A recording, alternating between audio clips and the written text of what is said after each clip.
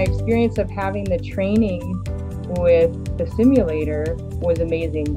I thought it was, you know, very successful way to prepare for MSICS because it it broke down every single detail. from here to here that you don't have any connection. So let's try one more time.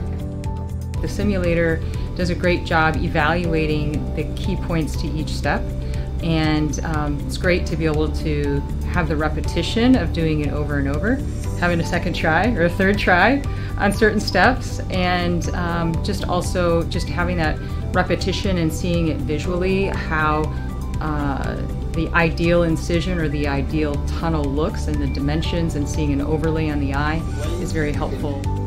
Get it a little bit deeper is just when you go to the right, move the eyeball to the left, mm-hmm. and then that turning will get it deeper. When you go this way, move it to the right. As a resident, the only thing I've been exposed to at this point is phaco, and so transitioning to MSICS in my mind has been a pretty pretty big thing. But the simulator has really helped bridge that gap pretty easily.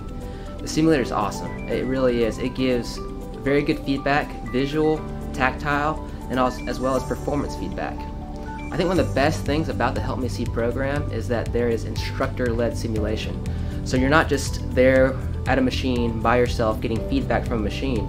You're actually getting feedback from a expert MSICS surgeon right there with you in the room. And that I think has been the absolute game changer for this simulation training. My training finished 10 days before I was operating in Liberia. Uh, the proximity of that timing was great. Because of the pandemic, it had been over two and a half years since I had done MSICS. But after the simulator training, I had fewer complications. Now, some of that's due to the grace of God and lots of prayer and having patients without pathology and weak zonules, but I know the simulator made a difference. Any um, success, I have to attribute a lot of that to what I was able to experience in the simulator on, on my first attempt, I will say, for example, the resistance that the simulator sclera had taught me how to find and feel that same resistance in the sclera. The, the, the, the same feel that you get whenever you enter into the eye and, and go from sclera to cornea.